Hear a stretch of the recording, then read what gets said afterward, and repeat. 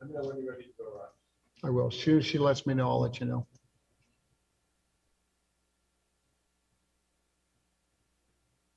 We're good, thanks.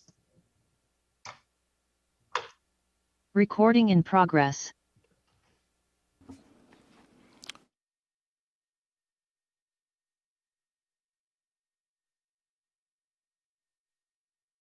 We'll call the Kitsap Public Facilities District meeting for Monday, March 20th, 2023 to order. Okay, first item is public comment. Do we have any? I do have Mr. Anderson that is in the wings. Let me uh, see if he's got a question or anybody else. As a matter of fact, if anybody would like to make a public comment, if you just raise your hands for me. Okay, Mr. Anderson, go ahead. Uh, Good evening. This is uh, Hank Anderson again. Um, Just a procedural comment. It looks like the facility project report may not have been added to the packet until today. Is that correct? Mr. Anderson, we can barely hear you. Can you say that again, please? The facility progress report appears to not have been added until today to the packet. Makes it hard to review before the meeting. I just received it today, Mr. Anderson. Is, is that contrary to what they're really obligated in order to have a complete packet before the meeting, uh, 24 hours or more? Or is that kind of an optional, uh, element to the preparation for such a meeting? No, sir, it's not an optional, but we are meeting a week early, and so all of our reports can be a little bit behind since we're meeting, normally we'd meet March 27th, and by the end of the month, then they have the previous month to go, so. But I, I did get it today, so it is part of this presentation, and it is part of the meeting packet, so everyone gets an opportunity to see it. Okay, that's all I have. Thank you. Thank you. Okay, if no more public comment, we'll move on to item three, which is approval of the consent agenda. Uh, Mr. Chair, I would uh, like to make a motion to approve the consent agenda uh, with the exception of letter E, the KCC financial report. Uh, The consent agenda was sent out ahead of time, uh, but the K- uh, Conference Center was not included in that, and so I, it's just procedural on why I'm pulling it out, but uh, we- we'd like to approve that separately. Okay, do we have a second for, I'll second it. okay, we have a second. Any discussion? Okay. All in favor of approving the consent agenda with the exception of item E, say aye. Aye. Any opposed? No. The consent agenda passes with the exception of item E. Okay, now we're going to move on to item four, which is the uh, facility progress report, which is a Port of Bremerton Yes, let- presentation. Let me uh, bring in Commissioner Strakeljahn. He's going to be presenting on behalf of the uh, Port of Bremerton. So Commissioner, let me get you in there.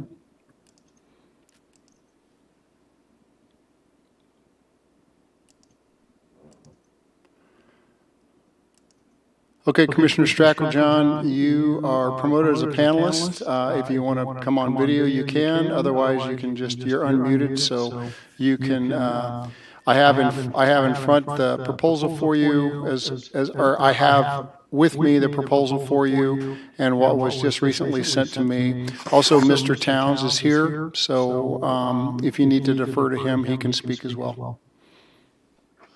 Yeah, good evening, Chair. Can you, can you hear us coming in? We can, a little faint, but we can hear you. Okay, thanks. Thanks, everybody. Uh, Good evening, board members, and thank you uh, for making time on the agenda this evening, allowing us to give an update on the Circuit project. Um, You know, in the past, we've had a lot of discussion about this project. There's been a lot of details shared. So I'm sure we all realize the benefit and uh, the significance and importance to the community that this brings, as well as it being self-sustaining. So you'll all be happy to know that I'll stick with new and current information.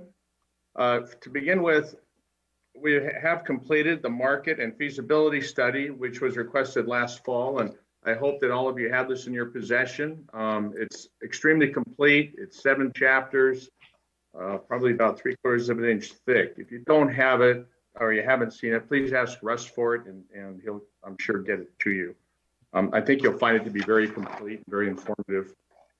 Uh, Another new item of business is that the Port of Bremerton, as landowners and uh, uh, yeah, la- as landowners to the Circuit Project, we have entered into an LOI uh, in support of the infrastructure needed for the public portion of this project uh, to the amount of $11.6 million. Uh, We would do that with most any of our tenants that we have uh, on port property, as we understand that the infrastructure, what drives the business and drives the businesses to the port, and they obviously need to have that. So that is a, a new document. I believe you also have that. Russ, do do your members have that? Correct. Uh, All of the, all of that has been sent ahead of time to the uh, board, Mr. Shackleton. Okay, thank you for that. So uh, basically, those are the new documents you should have possession. Um, With that, we have with us tonight also James Towns. Uh, He is from Hilltop Security, who is a bond counsel. Uh, He's is zooming in from California this evening. And as we all know, we appreciate the uniqueness of this project uh, as it is proven to be self-sustaining. And James is here to cover the financial mechanics of how we can fund this and how, and to bring clarity to this funding mechanism um, that we have available here at the PFD. So I hope that this settles most of our required documentation um, that has been requested by the PFD and, and hopefully that information uh, is complete and will help you to make a decision and move forward with this.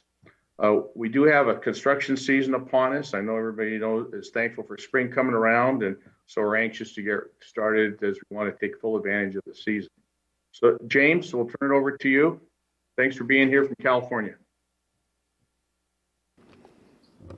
Yeah, and you can just key that. And actually, we're lucky enough to have him in person in the chambers here in Kitsap County. Thank, thank you, Axel. Can you, can you hear me? Am I on? Yeah. I I have a hard time hearing the last gentleman. Uh, can, testing, testing. Can you hear me? You, you really need to speak up. Well, how, how about now? Is it, is that good? Not good, but better. Better, okay. Um, thank you, thank you, everybody. Uh, I would like to um, share with, uh, with the board a, a presentation that we've put together. I want to go, uh, Rusk, if you can put the, the second page on the screen. Um, what I what I'd like to talk about just a- couple of quick things. Um, one is a summary of the feasibility study. It's a 150-page document, which which I believe you all have, but I, I will highlight a couple things in there uh, and go through uh, what we look at at Hilltop Securities when we're looking at credit approval for a bond issue, and then our um, request which, uh, I, if you recall, I was at the November 15th meeting um, and made a request for a $20.5 million uh, uh, funding that involved a bond issue or potential bond uh, issue. And at that time, um, uh, we, uh, Russ and, and the board met after that meeting and decided to put some additional requirements. One of those requirements was uh, partial funding. The other requirement that, that uh, was put on us was um, uh, talk to other public bodies um, and try to get them to commit to funding as well, and then the feasibility study. So we did, uh, we did complete the feasibility. Uh, Russ, if you could go to, to the following page, to the next page. Um, I just wanted to give you a little bit of quick background on me. When I was here in November, I worked at a company called Caldwell Sutter Capital. Since then, I have left that firm to, to go to Hilltop Securities, and primarily the reason is Hilltop is a is a um, is a is a number one investment bank. It's a it's a public finance investment banking organization. Um, at Hilltop, we do about 20 transactions every single week. Over the past five years, 2 point, $259 billion worth of securities underwritings. Um, We're ranked number five nationally, and we have over a billion dollars in underwriting capacity. So I just, I wanted to highlight Hilltop Securities uh, as my new employer. Um, and just give you a, a, a quick background on what we do to get approval for a project. The first thing um, that we do is the senior credit officer at the firm reviews the feasibility analysis and reviews the financial information. We have a committee of senior management that will then approve the transaction for uh, the firm as a preliminary approval, an allowance to have the firm engaged to underwrite securities. We, we completed that process in early February. Um, the firm invited Mr. Joel Cohen, the, uh, from the Joel Cohen Group, down to Houston to uh, have a meeting, uh, an all-day meeting as the company's representative. And so he was, he, he was there, I was there, and we talked with senior management at Hilltop Securities about the project. Our management team gets behind about five or six of these projects per year, uh, what I would call large-scale entertainment complex projects. After the meeting ended, uh, our management decided that this is one of the, the five or six projects that they will be supporting this year and taking to the market for a bond issue. Um, we did all of the uh, background checks of the ownership of CNW. We did a, company check. We've gone through a rigorous process to, to vet this transaction. So that has all been completed, and I'm happy to say uh, CNW has now engaged Hilltop Securities as the underwriter for their senior debt. That may not mean a, lot to you, but to us, uh, that puts us on a fast track to selling debt, putting a debt package together, selling debt, and closing to start construction. Our timetable is to close on the bonds by June 28th of this year. That gives us a few months to put together the package, find investors, and get the bonds sold.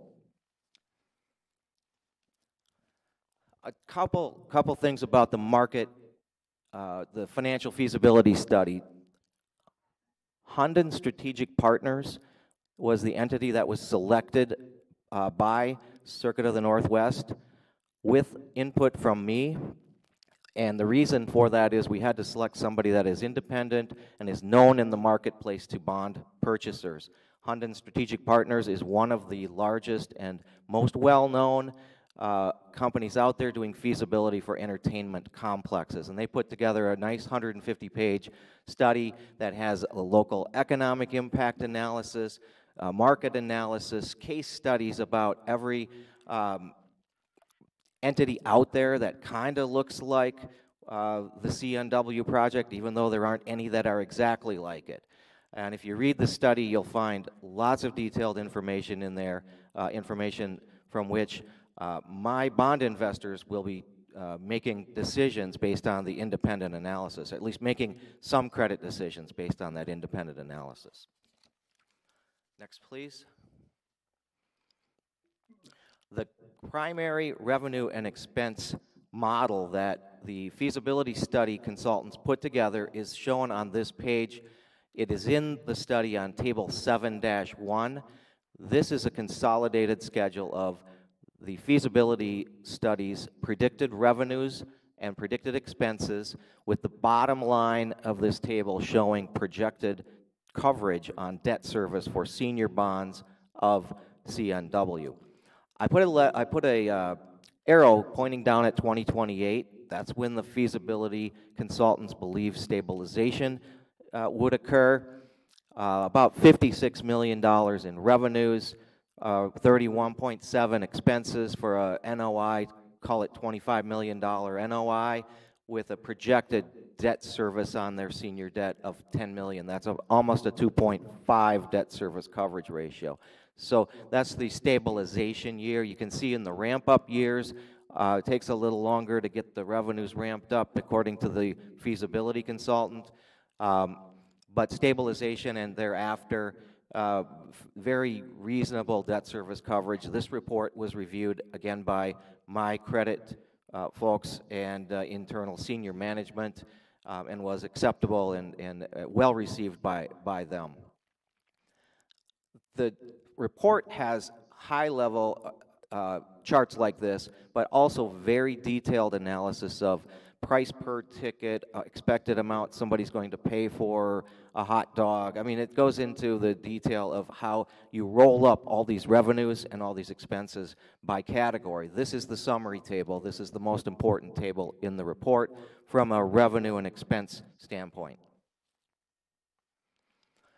The report also lays out something really important for the community, for the county, for the area, uh, local economic impacts, and those, those things are identified as new spending, new earnings, new full-time equivalent jobs, new business that results from having a, a, a facility like this, and new taxes. So these are all sort of the identified uh, items that impact the local community.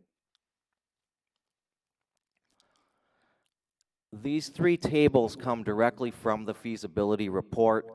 Uh, numbers that back up the, that, that, that sort of uh, highlight the new spending, the new earnings, and the new jobs to be created, along with um, sales tax during construction.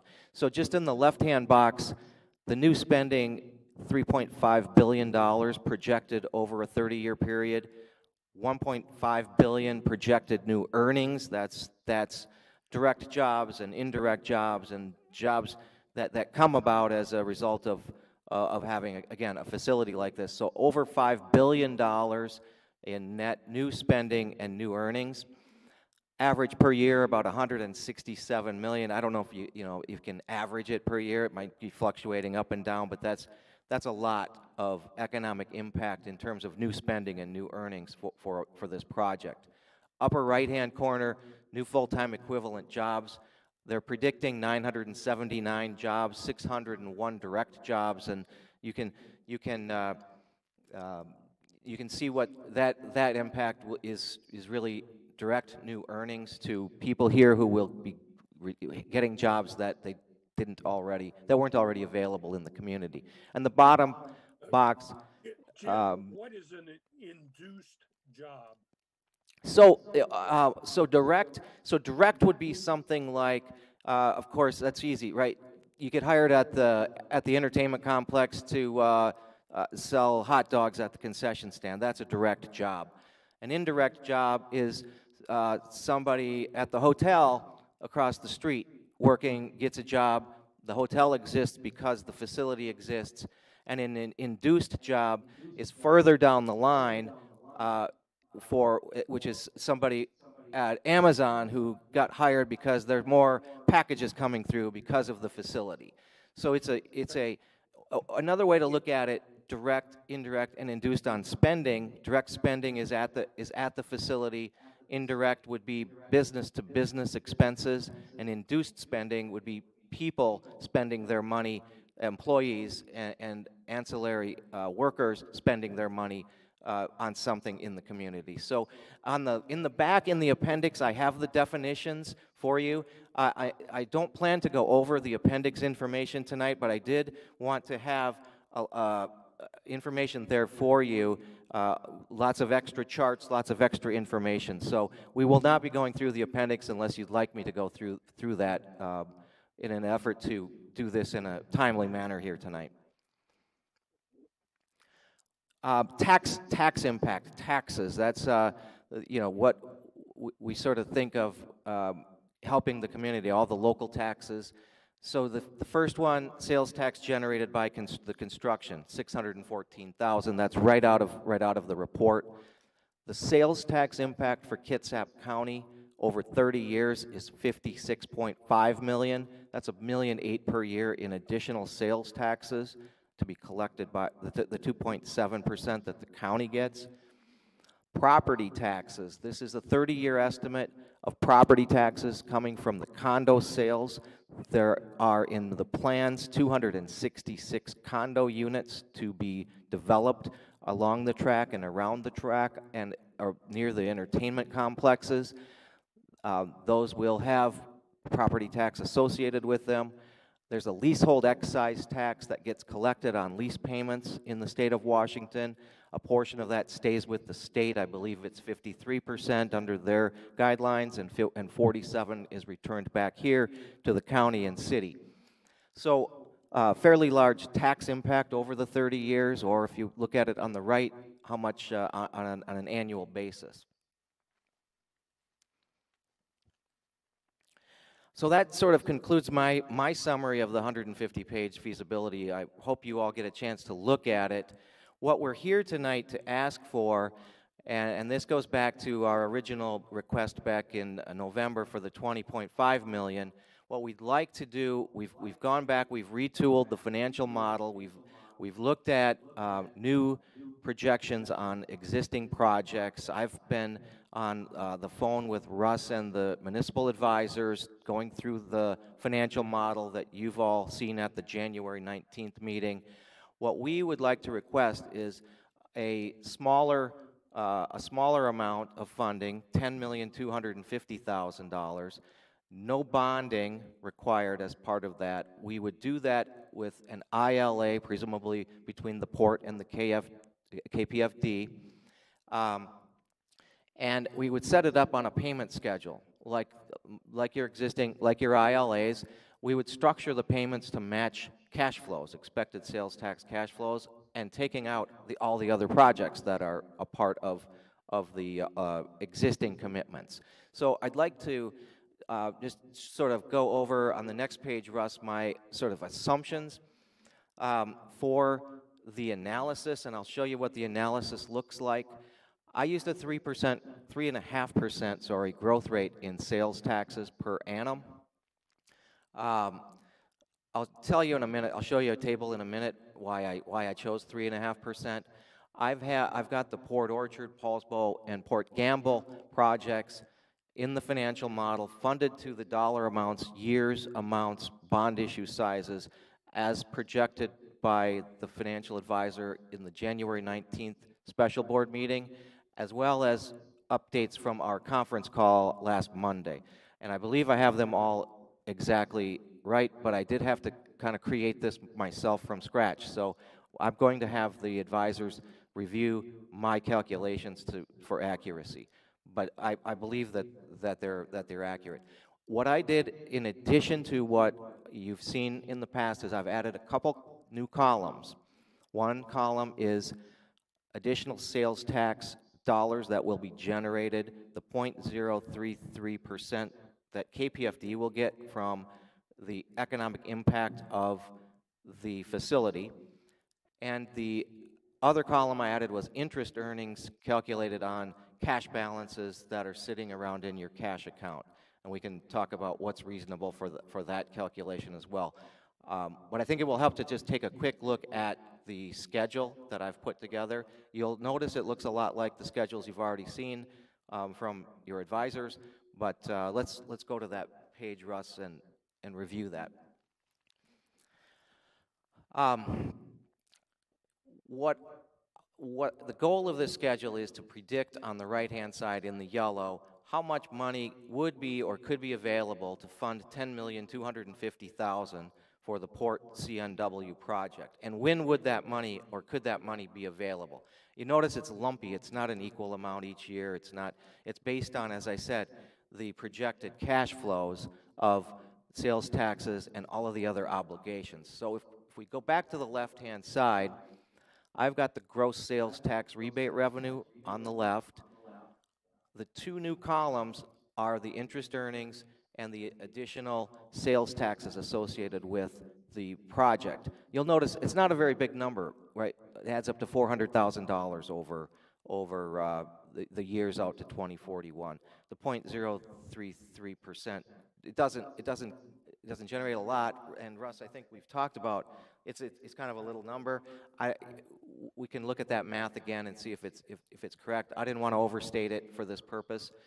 Um, operating expenses are straight from from uh, the estimations at the January 19th meeting and existing debt service as well. So uh, what I did then is I took all of the current uh, ILAs and bonds. I added the new requests that have come in recently. I think a 6.5 million bond issue for Port Orchard, a 7.839 Poulsbo, um, Port Gamble for an extra 350 this year, and then 8 million for uh, uh, just I put it at the end based on the conversation with the advisors on uh, last Monday, $8 million at the end.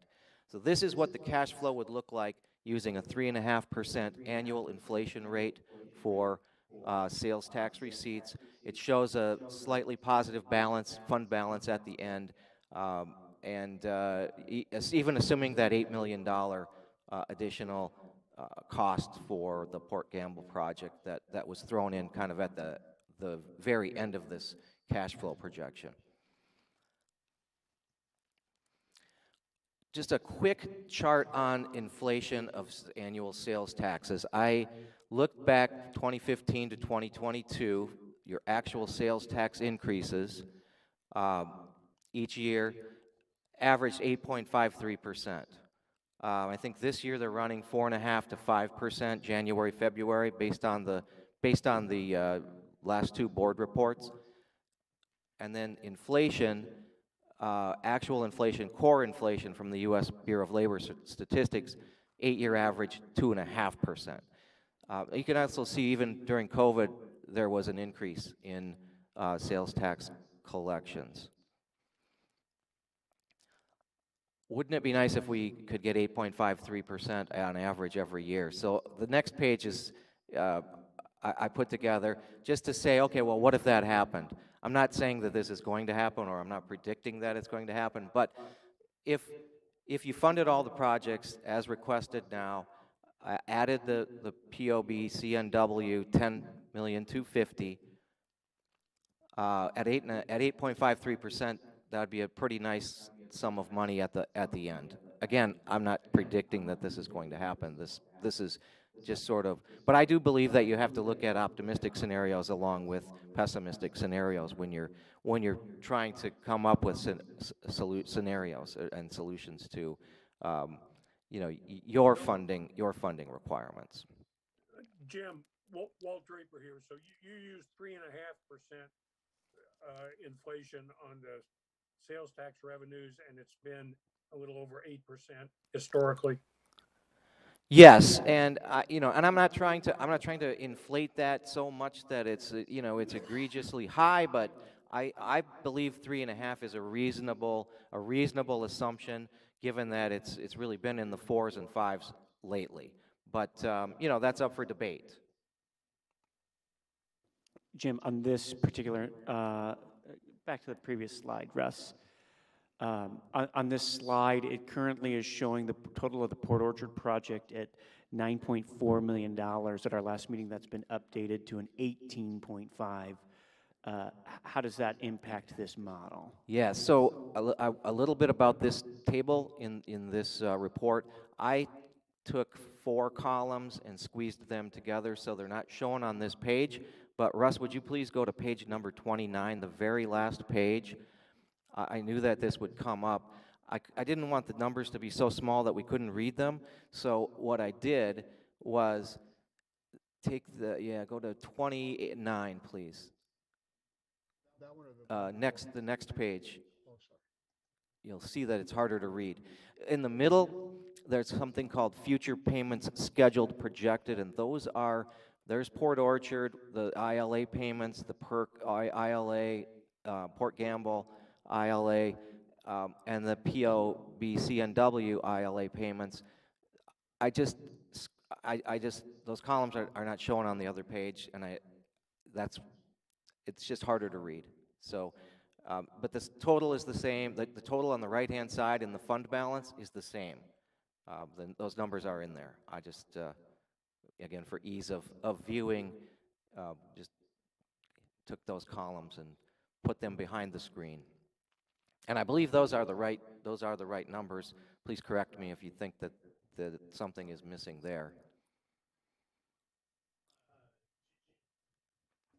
Jim, uh, I'm trying to read it, looking up here, but I see 14 million total payments for Port Orchard. Uh, Can you scroll up just a touch? And you were just saying 18 and a half, John? Is that the correct number it should be?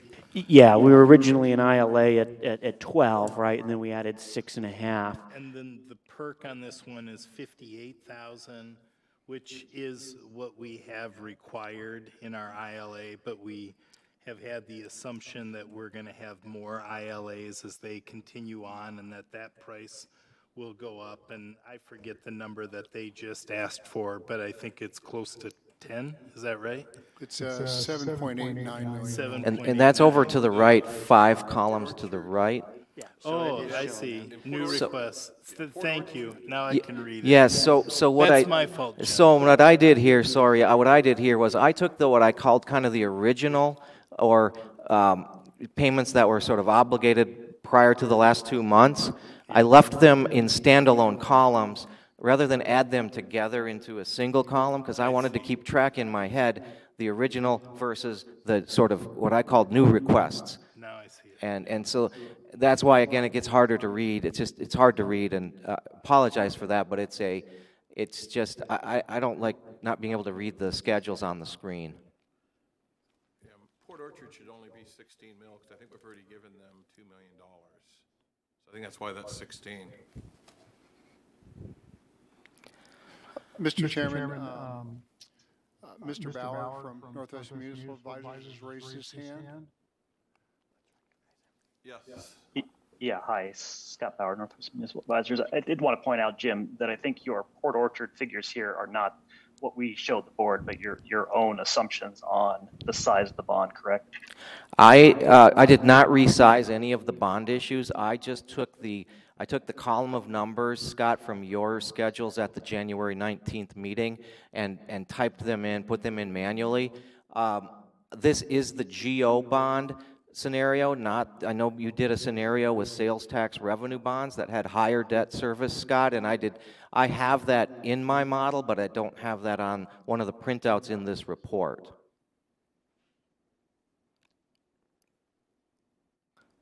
I think if you recall, Scott, the, the revenue bond scenario, uh, you had a reserve fund in there, and so you didn't have a payment in 2041.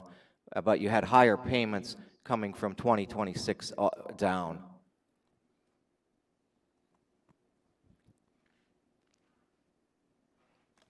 down. Okay, Jim, thank you.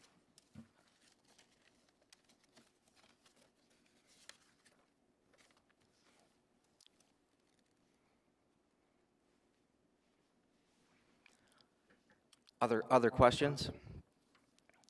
Is any other questions from the board? I, I, I do, uh, Walt Draper. I'm, I'm not sure this is the right time to discuss it, but, you know, over the last year, we've had a number of discussions about a five percent fee on, uh, various revenues from the Circuit of the Northwest. It was always unclear to me whether that was just a five percent on, uh, on admission, on admissions cost or it included parking and concessions, that kind of thing. What's happened about that? Because that was a source of revenue that would make things, in my opinion, much easier for the PFD if it were, uh, if we could count on it. Where does that stand? Yeah, thanks. That's a, that's a good question. The, um, so when we could not get the $20.5 million, when we found out that that was uh, just too big of a bite to take off, we had to take that, we had to take that 5% facility charge, the voluntary facility charge, out of the uh, cash flows and use that to help fund other um, uh, sources of capital. So that, so, so if we, if we can get the 20.5 million, I think the facility charge concept can come back, or perhaps a modified version of, of that concept can come back into the equation. Uh, I, you know, we have to look at, we have to look at the senior bond um, waterfall and the revenue stream and what is pledged to those bondholders. And uh, perhaps we can do something on a, uh, uh, below-the-line basis to, to provide funds to um, KPFD uh, in, you know, maybe in the later years or once stabilization occurs. I'm just tossing up ideas here. I haven't spoken, and I, I haven't spoken uh, with them about options. Um, but, I- but I mean, I, I think there are, I think there are options available, and we could, you know, together figure this out in a, you know, public-private partnership arrangement where we're all working as a team together um, to make the project work. And that's, that's really what my goal is in coming here and in, in talking about this is, you know, this, this is a partnership that's been ongoing. It's, um, it's been a great partnership. We'd like uh, additional contributions because we can, when we access the debt capital markets, it validates the project to have the public involved. Um, We, we changed from direct bonds with cash coming in at the, at the, uh, to CNW for the uh, construction of the event centers to payments over time, which frankly are harder, are harder to deal with, but, but I, I felt that coming back here with that kind of request made more sense in light of some of the uh, recent additional requests and, and, and the cash flows I've been looking at with your advisors and, and watching as I watch the, the monthly board meetings. So I, I just felt like it made more sense to ask for and to construct a payment schedule that makes sense over time. And I, I'm not, you know, this payment schedule that I came up with probably wouldn't, won't be the last, it probably won't be what we end up with. It probably will go through several iterations. We'll look at, you know, a bunch of different scenarios and numbers and, and I, I think if we put our heads together, we can come up with something that adds up to the 10.25 million that makes sense for everybody.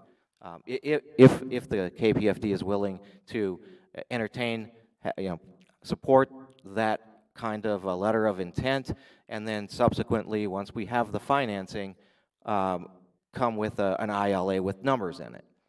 We don't have to have the, we don't have to decide the numbers today. That's, this is all trying in a, in the uh, good faith of trying to come up with something that works for everybody.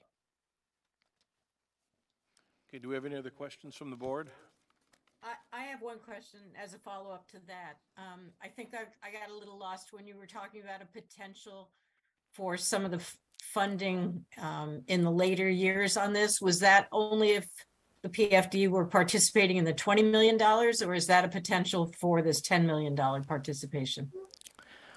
Well, I, I don't have the answer to that. I, I'm tossing out ideas as, as we, as I get asked the questions. I, I, I- you know, to get the five percent, um, we would have to have twenty point five million dollars because otherwise we're going to have revenue loss that we can't afford to pay a, say, preferred debt holder or some other, some other investor. So that was the reason why it, it, it's out. But can we come up with a, a, a something else? Maybe it's a one percent charge that starts in 2028, or it's a 2% that starts in 2030. I, I'm, I, it- it's, I don't, I don't have the answer, Aaron, and it's, it's not defined. I, I don't, I don't know, but it's certainly worth having um, a, an open discussion about. So th- this is, this is Walt again, so if, if, do I understand correctly that uh, eliminating the use of the five percent admissions tax um, was what enabled you to go from a twenty million request to a ten million request, is that correct? Yes.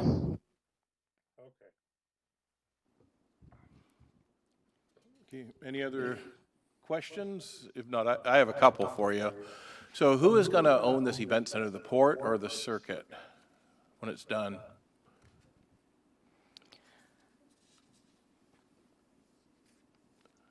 I didn't hear the question. What was the question? Axel, who, who is going to own the event center? Who is the owner of the center? Well, the public is the owner of the event center. So I, the port is obviously the, um, I would say the landlord and the way the contracts are written, at the end of the day, um, it belongs to the public. It's a public facility owned by the public. So, Which essentially would be the port. I wasn't able to hear that really good. Who is going to be the owner? The port? So Commissioner Strakeljahn said that the uh, public would own it, right? So there, in essence, Public Facilities District would own the event center. So The, I thought it was the port that would own yeah, I couldn't, behalf of the public. Tho- I, I think those are some of the questions that we have to, we have to get answers to with regard to who would own it. I think Circuit Northwest would operate it, but who would own it? And of course, that's a key question because whoever owns it then has the ability to be able to add an admissions tax or uh, generate different revenue from that. And so I think it's a, it's a key question to ask as to who owns it. The other thing too is we have to consider the liab, we have to consider legally what can we do with regard to receiving a different type of revenue besides just our sales tax rebates, which is our only source of revenue right now. So I definitely think that we've got to have answers to those questions. right, I agree. You know, my, my next question is, when are they going to start building the Circuit of the Northwest? Is that going to be this summer? The, the plan is to close on all financing instruments on the 28th of June and start construction. Construction will be phased as to what gets started. Uh, Obviously, there's a whole plan around the construction, but everything gets financed at once and construction starts all at once. So condos will start to get constructed, they'll start clearing, I mean, it, it's all, it's all one master plan. So if the PFD doesn't do this, are they still going to construct this, or will it stop everything? Well, if we don't, if we can't fund 100% of the project by June 28th, we'll have to delay the um, closing, we'll have to delay the financing, and uh, perhaps miss the construction cycle. It depends on, depends on what, where we can raise the extra 10 million. We'll have to go raise it somewhere else, and uh, I don't know how long that would take, but if, if, you know, if somebody handed us a check tomorrow, we would be in business, but um, so far that hasn't happened. So the way I understand, it, so without the public portion, the private portion is not going to happen this summer? It all has to happen at one time. Okay. With all the money at one time. We can't do it in pie, we're not doing it in pieces. Okay, Yeah. that's all the questions I have. Does anyone else have any questions? Uh, Walt here. Uh, I have a question, I, I guess for Scott. Scott, are, are, are you happy with the figures we've seen tonight? Do you agree with those, uh, that Jim has presented? Well, Walt, uh, I, I guess I, I wouldn't want to provide an opinion yet. We haven't had a chance to look over this uh, spreadsheet yet. So O- Okay. to, to the extent we're allowed to, I'd like to review it with the executive director and then potentially the executive team, again, if allowed by the board here. Okay, thank you. Okay, well, that's it, and we'll conclude this. What we'll do is we'll review it with our legal and financial personnel, and hopefully we'll be able to get this on the agenda for our next meeting. Yeah, Mr. Chairman, if I could make a, uh, if I could make a quick comment, real quick. I- I know that the port is looking for an answer right away, um, but it- we will do everything we can to have this on the agenda to take it to a vote in April at our April meeting. Um, Reason being, of course, is that um, we have to go through it thoroughly with our financial advisors. Uh, Mr. Towns, I suppose, we will probably have another meeting or two with you as we talk about these things as well. Um, And then also legal, our bond counsel, we're going to want all of them to be able to weigh in. We're not looking to drag our feet, we're not looking to delay the decision, so um, I personally will make every effort to make sure that we can get it uh, in front of the board so the board can make a decision in April. Yes, that sounds good. And, Mr. Chair, I, I- I just want to make completely sure that the Executive Director and I are on the same page, uh, because the, the letter dated here uh, doesn't ask for any action to be taken by the KPFD at this time, other than uh, what's been presented to us this evening. So I'd be, want to make sure that there, there's an official ask, whether they're looking for a letter of intent, an interlocal agreement, whatever that looks like, um, so that, that we know what we're, what we need to vote on. Exactly right, Director Morrissey. As a matter of fact, what I would like to see is after we've gone through all of this, would be a formal letter of intent that would be signatures required, and that's what would be presented to our board in, in April, just like what we did for the city of Port Orchard. And, and I think as a, as a model, you, you could look at the uh, Port of Bremerton's LOI and the conditions on that and the, what that looked like uh, as a sample if you wanted to look at that. But it, it's a conditional LOI conditioned upon the other parts of the funding coming together. Everybody comes to a closing, we agree on the terms, and everything closes on one, on one day. But it's a conditional LOI, um, and it's subject to whatever your requirements are. The port had the feasibility review and, uh, and um, funding 100% of the project. And so uh, y- you'll, you can look at that and use that as a sample, or put, we can put one together. I'll, I'll certainly help put it together, whatever, whatever anybody needs uh, in that regard. Okay, well, thank you very much. Yeah, thank you so much, Mr. Towns, for coming all the way out here. Yes. Thank you, uh, Commissioner Strakeljahn. So we'll move on to item 5A, Northwest Municipal Advisors Contract Extension. We just need a motion. Correct, Mr. Chairman. Um, We, at our last meeting, if you'll remember, we had the Northwest uh, Municipal Advisors Contract Extension that we presented to the board. The board asked us if, uh, if um, our legal counsel had had an opportunity to see it yet, and he had not. Uh, That was, that was my mistake. Uh, We have then, he has looked at it. Uh, We've made some changes to it. We've presented that back to Municipal Northwest Advisors. They are satisfied with it. So the contract extension, it's actually here in the presentation, but the contract extension now meets the requirements of our legal counsel and Northwest Municipal Advisors.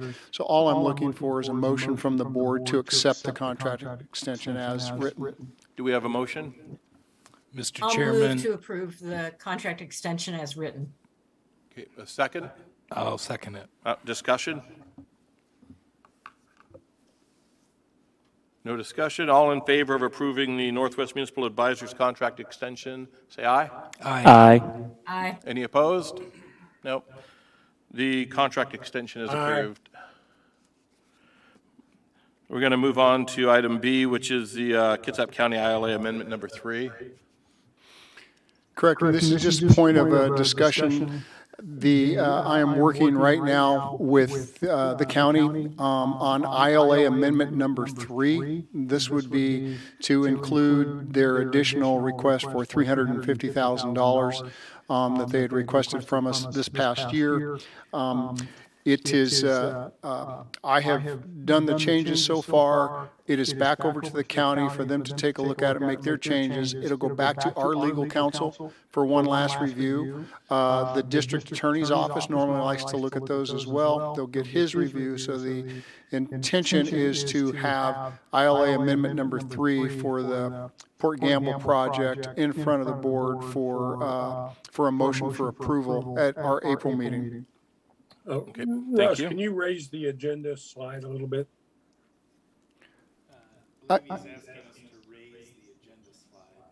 Y- Yes, Oh, Very, that's good. Thank you.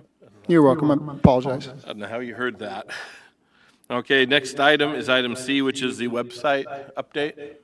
Uh, Correct. Um, The, we got our, um, we got our logo finally uh, approved by the board. Uh, We've now implemented it. If you go to our website, you'll now see that it has our new logo up at the top and it has our, our um, mission statement down at the bottom or our- our, uh, um, what, what do we call, our tagline at the bottom, building communities and enriching lives. Um, I'm still working on changes to the website because the website, um, there's quite a bit of dated material, so I need to go in and make changes to that, so I'm working on those things. Uh, but yeah, just invite you to go out and take a look when you get an opportunity, to take a look at our new website. And then that goes hand in hand with the uh, last point of the general business, which is the board member photos for the website. I'd like to propose to the board that I set up an opportunity for board members to be able to go on their own to a, to a photographer and have their headshots taken. Because what I would like to do is I'd like to post those on our website. I think it's good for the public to be able to not only uh, see the names, but see the faces associated with the names. I would also propose to ask the board members to add a one or two sentence bio, so they could click on that and get a little bit more information about the, about the board members as well. So uh, I don't think it needs a formal motion. I just would like to get a sense of the board, if the board would be open to doing uh, board member photos, and if so, then I will set up a photographer where everybody can go to it at their own, at their own pace. I've already talked with our website developers. Yes, Walt? Can, can your photographer take twenty years off our age? You know, Walt, I'll- I, I will do my best. I promise. Thank you. I, I'm going to ask him to thin me out about 20 pounds too. Um, Russ, this is Erin. Um, do they need to be studio photographs or would we rather have the more, uh, I don't know, casual is not the right word, but Well, quite honest, quite honestly, uh, Director Leadham, I would like to have all the same background. So when everybody looks at it, it looks like all the headshots are taken at the same location, same pose and so forth. Now, again, it's kind of up to the board. It's your picture. So whatever it is that you want to put up there, if you have a professional headshot and you'd rather have that up there, that's fine. And if you want to just send that to me, that's absolutely fine. You know, uh, Russ, I think I, I like the idea. You know, uh, when we brought you on, we, we talked about marketing uh, on behalf of the KPFD, and I think uh, that's just another step. So, great idea. I think uh, I'm in support. Thank you. As am I. Russ, I think I it's good and we should do it. Superior judgment. Okay. All right. Thank you, Director Draper. Any other discuss- discussions about the websites? Um, Anything else? All Okay, right. then I believe we have to go back to item 1E and bring that up. Yeah, uh, you know, all, all that truly is is is a formality, Mr. Chair. Uh, I I move that we accept the Kitsap uh, Conference Center financial report uh, as presented. And I second. Okay, discussion? Okay, all in favor of accepting the uh, KCC financial report, say aye. Aye. I, Any opposed? Okay, item 1E is approved. And any other comments? One last thing I'd like to do, and I, I would like to, I, we put the financial report into the uh, consent agenda, but I think for public knowledge, it's important for us to be able to show what that looks like as well. So if you, if you'll recall, um, we've been working on this uh, expenditures, available funds and expenditures report um, for the last few months now. And based upon feedback that I got uh, from the board at our last meeting, we've gone ahead and done some re- refining of it. I want to, sh- this is a, this is kind of a, if you will, a one glimpse of where we're currently at month to month. So if you'll indulge me for just a second. Um, um, as of the 1st of March, in our 977 capital fund, we have 2,396,000. In our 977 cash fund, as of the 9th of March, which is the last time I pulled the report, we have 225,894.47. As of the first of March, we had thirty-three thousand, sixty-nine dollars in our operations funds. Therefore, I did not need to move any money from our 977 cash account over to operating funds because I had enough to cover the operating funds for this month. We spent $19,412 on operating expenses for the month of March, so we had leftover $13,365.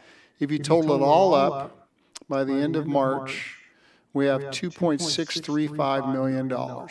So I think that this, I, I'm hoping that this satisfies what the board was hoping to see with regard to, Russ, where are we at? What do we got in capital funds? What do we have in cash? What's available to us? And then what's it all add up to? So I would like, uh, I would like comment from the board on this. Is this, is this hit the mark? Is this more closely hit the mark for you?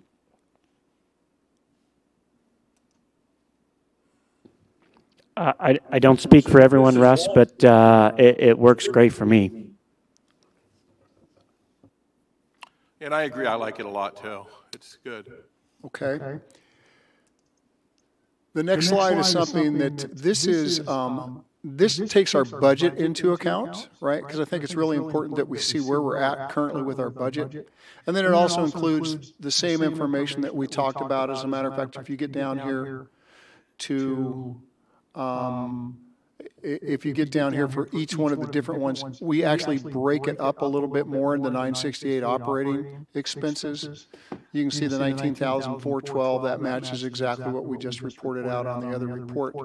But I think most importantly, when it comes to the budget, you can see right now that we're coming up to the end of the first quarter, and in our budget, we spent 16.9% of our budget. Well, in a typical quarter, it would normally be 25%. So you can see that we are uh, just 8.1% under budget right now.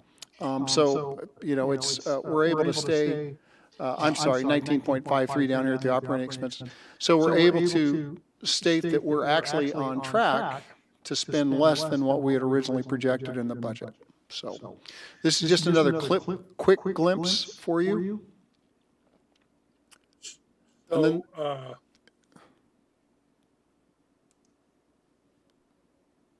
You- You're muted, Director Draper.